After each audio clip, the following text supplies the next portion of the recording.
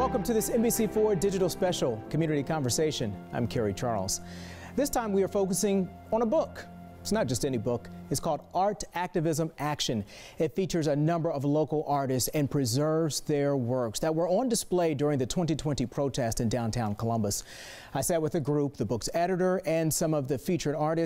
We talked about their individual contributions, what art does for them, working on the streets as protests played out around them, and that no matter the medium, art can be used in the fight for social justice.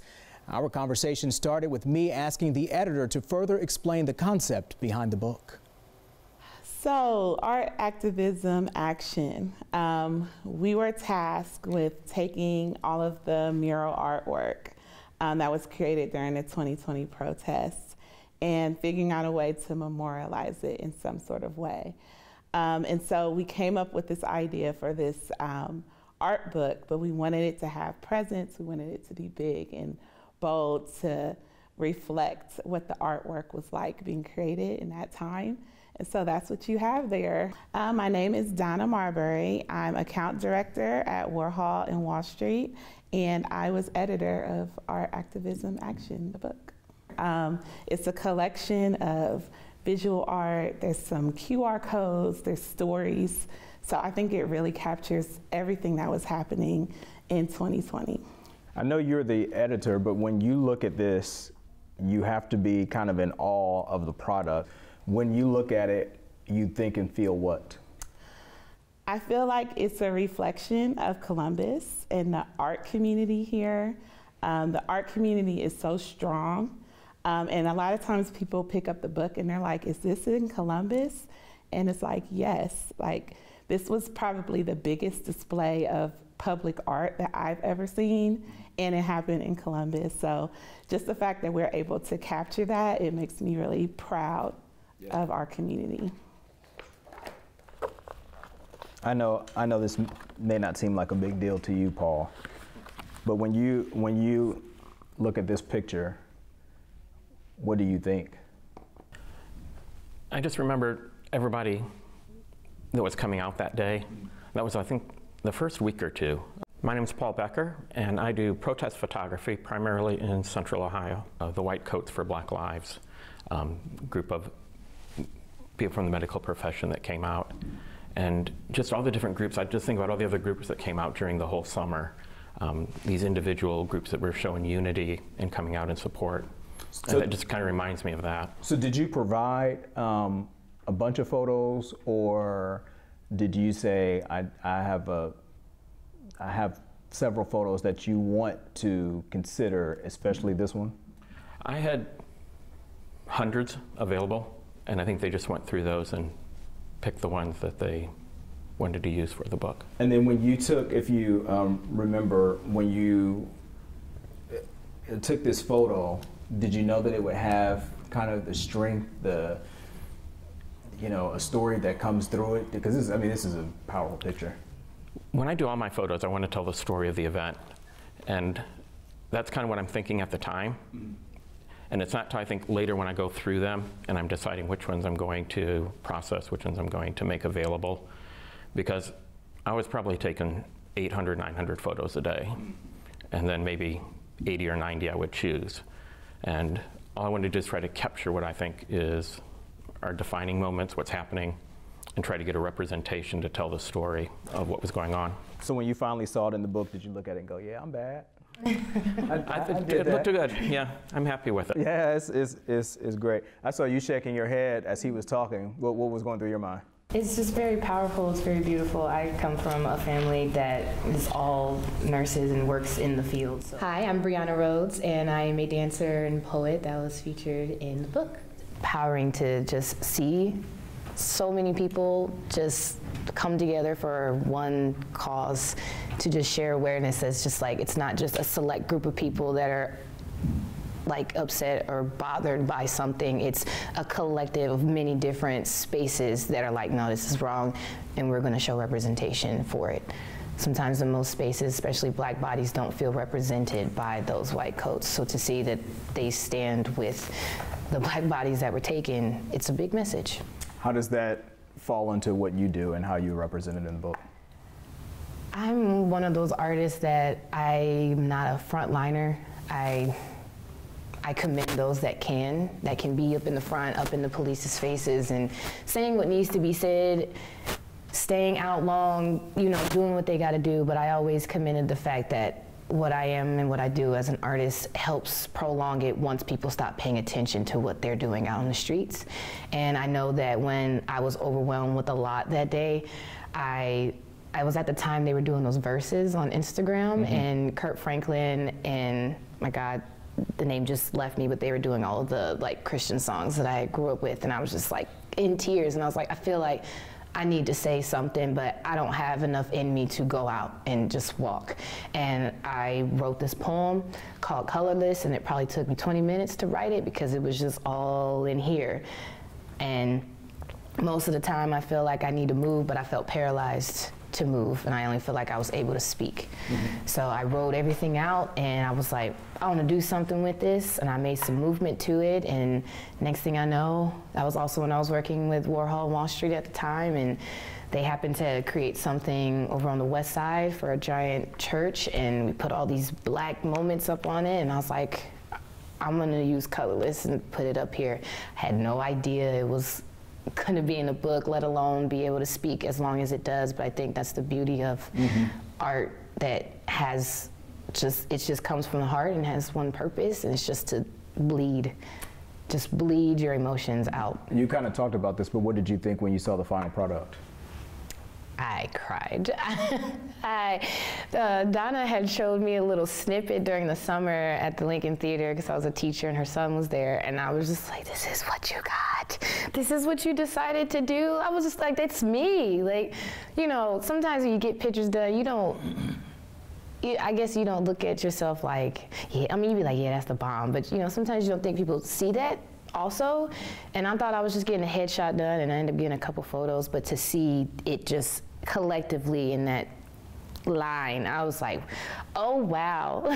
just, but your your dance is also featured. Yes, right? it's yeah, in the so QR you come code. to life, so it's not just the, the picture. Yeah, yeah, I do come to life, I guess. yeah. What about you, Duarte? When you uh, when you saw the final product, what did you think? Yeah, I was impressed with the quality of the book. Mm-hmm. Yeah. Richard Duarte Brown. I was a mural painter. That's my part in the book. You've seen a lot of art during your day. What was so impressive about this production?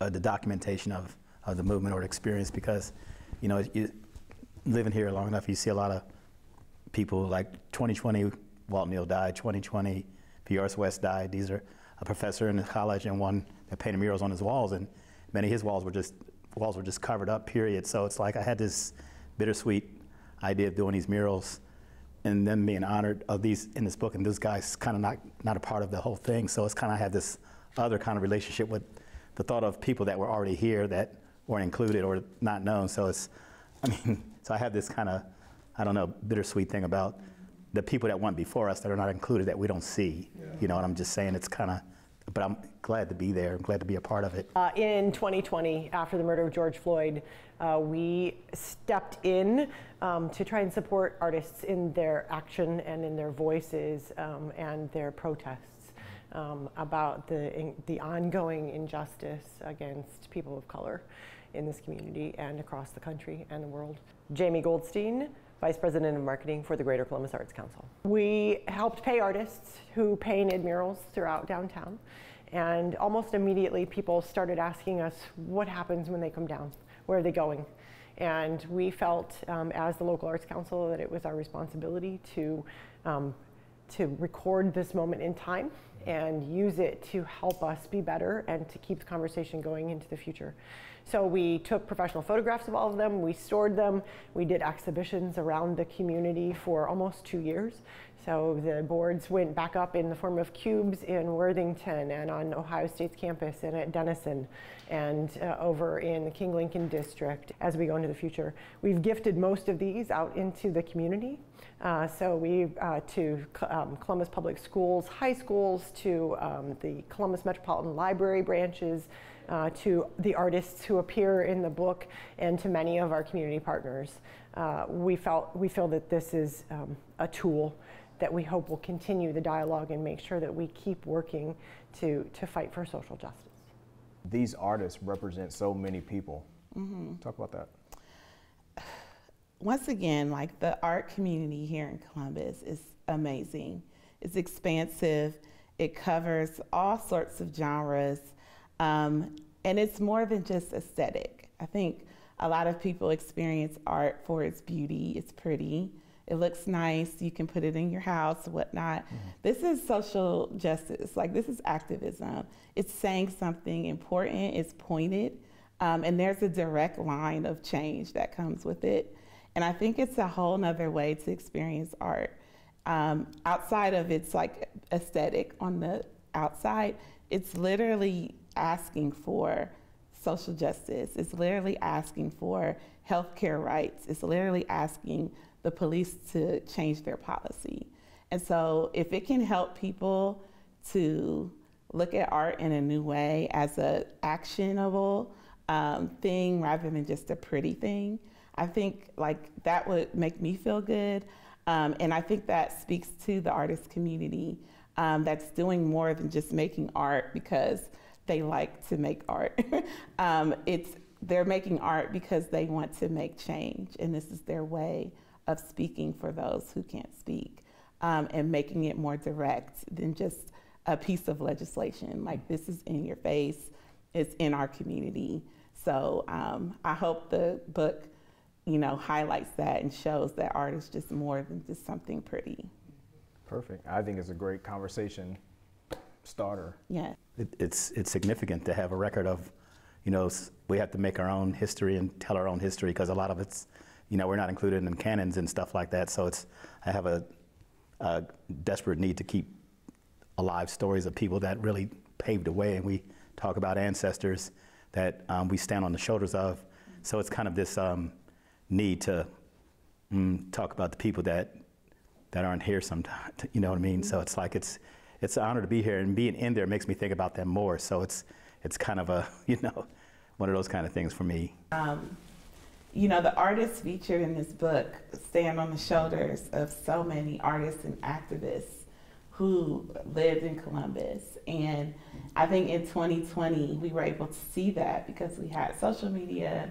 It was all over the national news mm-hmm. um, of the protests that were happening here, but it certainly wasn't the first time that artists stood in the front of social injustice. Yeah. Um, it's just the first time I think the whole city was able to see it on such a large scale. Mm-hmm. Um, and, you know, the artists were out. One of the central questions of this book was what made you leave your couch to go down, downtown and take photos or paint? Mm-hmm.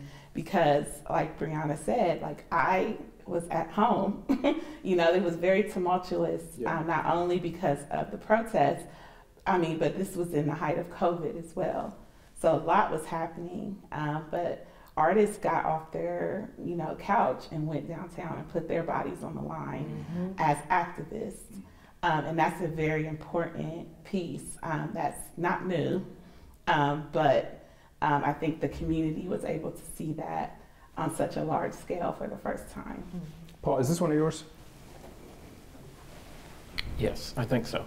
The um, it was um, when I sent the email. One of the things that you said was you didn't want to take the space from uh, of someone black who could be sitting at the table. I don't have a table, but um, there has to be a different lens that you have.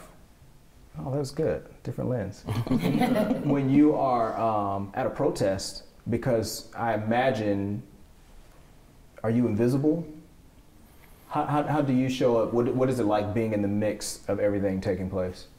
I think I'm coming from a, also a position of privilege as well, mm-hmm. that especially with police and other individuals of power, they're going to view me differently. Um, and some of them viewed as part of the media. That also comes with privilege that like when the curfews were in effect, media were exempt. Um, so I do think about those things when I'm out there, but I try to get just caught up in, as I said before, just capturing what's happening. Mm-hmm. Um, and also look for cues from people.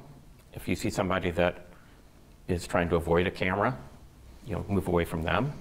Um, you can't really ask permission when there's 2,000 people in the streets, but I try to make sure they see the cameras Um, I'm walking around beforehand, and I'm pretty open and accessible so people can come and talk to me if they do have questions. I have cards if they want to contact me later. Why, um, why do you feel it's your responsibility to help hold close these moments that are happening in our community? I think it's important for all the hard work the organizers are doing, the other activists. I want there to be documentation. Um, so during the 2020 protest, I wanted people to see what how Central Ohio responded, and I knew there'd be other. There's lots of other photographers and media uh, that were documenting as well, and I just wanted to hopefully take my vision and have that perspective where people can look back and see how Central Ohio responded. Um, Brianna, how has um, how has or how did 2020 change you? Oh, it was hard.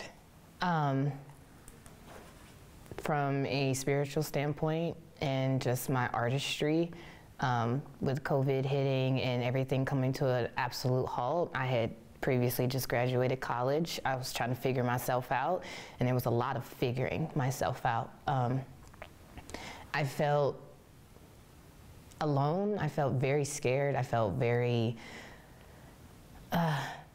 just very heightened sense of awareness that I didn't know what to do with. Um, but then one thing I just knew I wanted to do was just be an artist.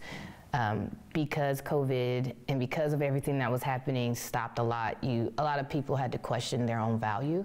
A lot of people succumbed to that answer and just basically ended up doing what they needed to do and to survive. And I just told myself I didn't want to survive.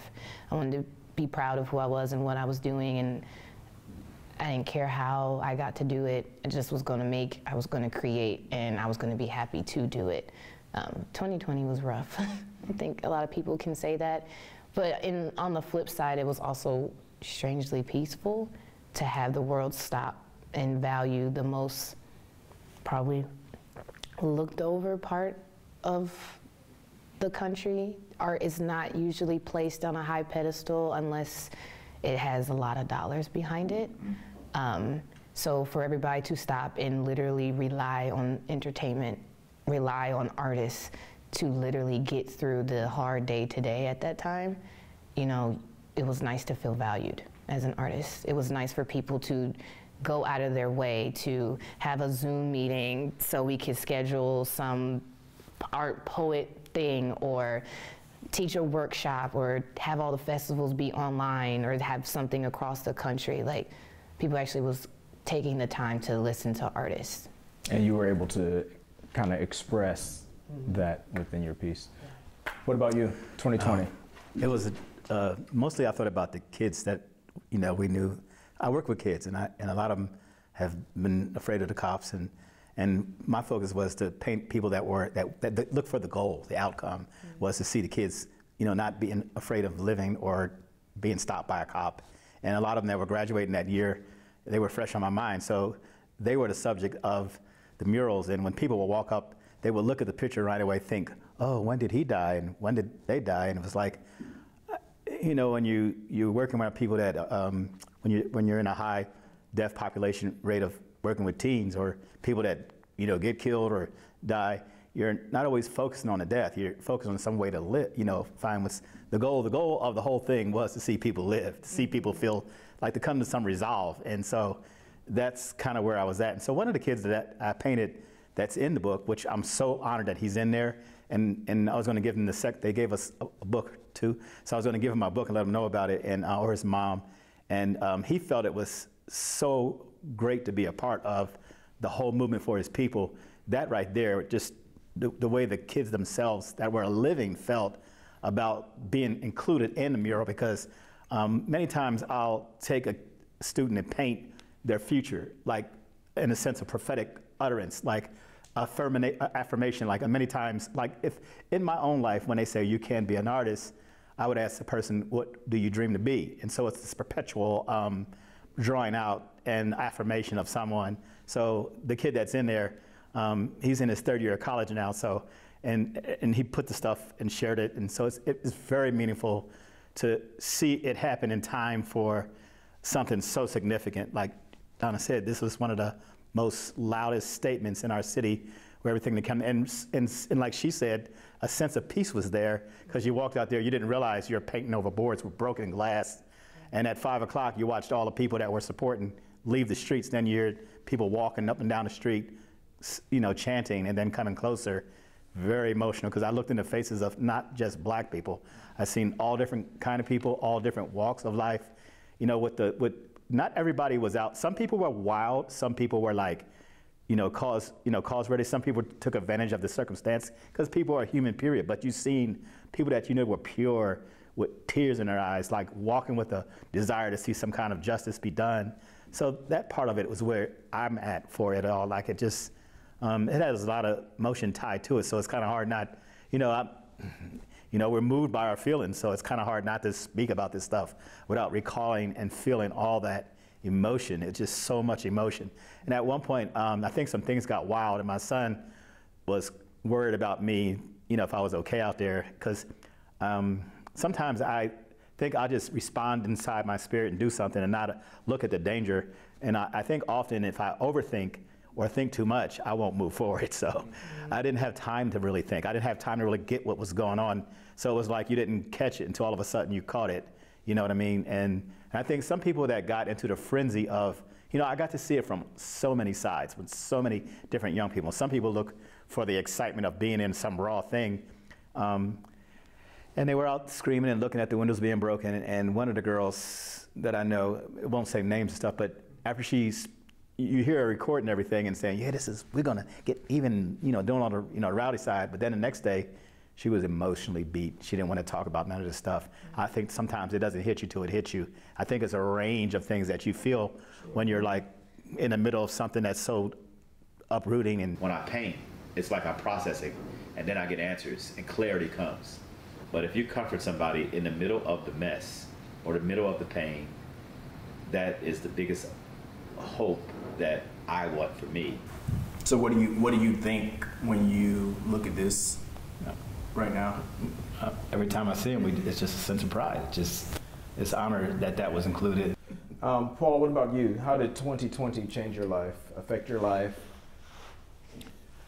Again, coming from a different position, mm-hmm. you know, I'm not at risk, and my family's not at risk the way other people are. So, but being out there and seeing the way police responded to a lot of the protesters, um, it makes me a lot more cautious when I'm out there. I'm a little bit more aware, because um, even sometimes the media was being targeted, mm-hmm. um, and it just and following up with other people across the country, you know, communicating with other photographers and other media, and having the same experience. Um, it does make me more aware out there that I have to be careful. Um, I'm not always paying attention what's happening when I am out there. Um, I know somebody posted some police body cam video online, and I was watching one of them, and it was the Father's Day at the State House. And a line of protesters, line of police, and I'm walking in between them with my camera, mm. and there's no one else around us. and I didn't realize that I had gotten kind of that much into the middle of things until I saw it.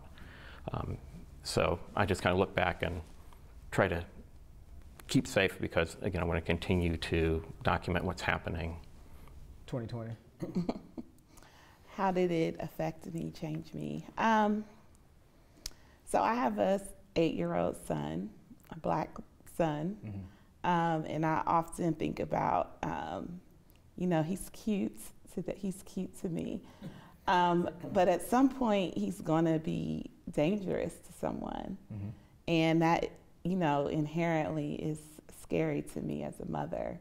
Um, there's so many mothers and fathers and family members who were protesting on behalf of their loved one um, because of a fluke accident, because of a 10 second situation. Um, and that has that stays on the top of everything I do. Um, so I think the year made me a little more intentional about the stories I want to tell mm-hmm. and the things I want to be a part of and the legacy that I want my son to know of who I am and um, what he grew up in. Um, he spent 2020 at home on Zoom, um, but when he becomes an adult, he'll have a better understanding of what he actually lived through. Um, and, you know, some of his peers didn't make it for whatever reason. Um, and so I just want, you know, him to remember what 2020 was like for him um, as he grows up. Um, so I just want to be more intentional. I think, um, you know, we all seen different corporations, different organizations taking certain stands of diversity, social justice. And I think um, in the position I'm in, I'm able to hold them to the carpet to say, hey, three years ago, we were all about diversity, we were all about inclusion. Um, let's keep that going. Um, so, yeah, just being more intentional with the stories I tell and what I want, you know, the people I can rise up and, and bring their stories to life. I always say, let's not make it uh, stonewashed jeans. Stonewashed Yes. jeans came in and then they went. Like we'll keep talking about it. The what's the the one thing you want people in Columbus to know about this book, this product, this gift to the community? You know, I went to the Underground Railroad, and um, this might show my ignorance or something. And I found out that Ha- Harriet Beecher Stowe was a white woman. And I'm just saying, um, true to the cause, there's always been humanity. The hand of humanity is bigger than. It's always the deeper heart of humanity. You find you're surprised at the end that it's not.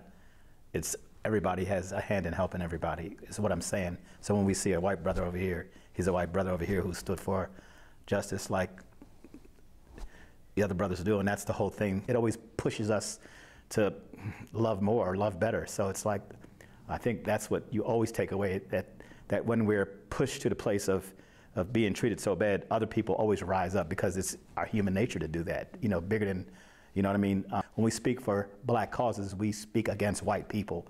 When do, do you, it's almost like it's almost it's inferred that I don't we don't care about. I have a white dad and a black mom who, who didn't even tell me they were my parents. So it's kind of like I've always looked at both sides of everything, and it's just kind of like um, I'm, that part of it fascinates me. Yeah. That, that part right there. I always say being pro-black doesn't mean anti-white. Yeah, that's exactly what I was trying to say. Yeah. Well, what do you hope that people know, take away from from this product? that it's ever giving. It just will constantly give. It's it will constantly give representation. It will constantly be relevant. It will constantly be a showcase of what's here in Columbus. It will constantly show those who are not here. It'll constantly I always say that my art is always speaking for those who can't speak for themselves, whether if they're actually gone or just literally can't speak for those, or, or kids, because I teach a quite array of kids from many different walks of life. So when I'm creating those work, I'm like, yeah, I might be young and I might be scared too, but there are kids that are even more scared all the time that I'm here reminding you that who you are as an individual matters. And if that book can remind them that you matter, it will constantly remind them that they matter, that the people that they look up to, and as it continues to roll down, it's just a con- it's a constant gift. Mm-hmm. I think that there are a lot of ways to participate or contribute to a movement. Mm. You may not be comfortable public speaking for different reasons. And maybe you can't be out on the street, but you can write down what you're feeling. You can paint. You can take a photo. Uh, there are a lot of ways that you can contribute to a movement besides being on the front line, being visible. Well, t- Talk about what it was like trying to produce a mural with chaos going behind you, whether that's chaos uh, because, and I'm talking about the outliers who are being destructive. What, what was that like? Um, I don't know. I had a strange sense of um, mm, uh, uh, just. I, I kept watching myself and looking around, and everything seemed safe, and we looked out for each other. But then we knew when at a certain time it wasn't good to be out, hmm. you know, at all. Just it was wild, like, more like people were just looking for opportunity to do something wild, and it wasn't about it wasn't about the cause we were about. It was about just busting up windows and mm-hmm. doing some stuff and calling people and stuff like that, and some mm. other stuff going on too. Mm. So, um, you know, that- you know, you hide from that. You know, I mean, you know, I mean, you've seen different waves of this in 57 years, but this one was different, is, would you say? It was every day, ongoing for weeks and weeks. And that's something you usually don't see. Um, you know, sometimes there were 3,000, sometimes there was 20. Um, but there was always someone downtown, usually at the State House or City Hall, and just how it just continued. And um, a lot of it was different people. You know, the one time when you go down one day and there'd be one group, and another day there'd be a different group. So I think just the way that it continued and went through for pretty much the whole summer. The Greater Columbus Arts Council has more information on where art activism action can be purchased. Thanks for watching. I'm Kerry Charles.